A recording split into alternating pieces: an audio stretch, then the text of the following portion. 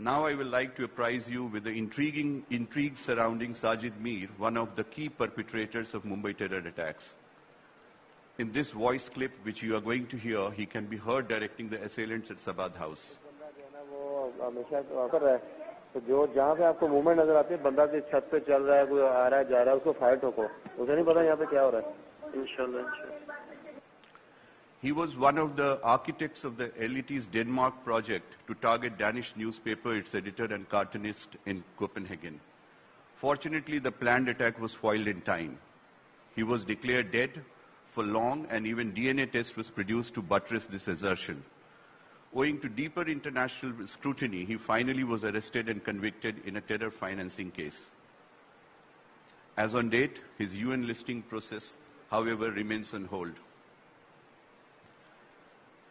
In the context of global fight against terrorism, I would like to finally flag challenges that needs to be surmounted.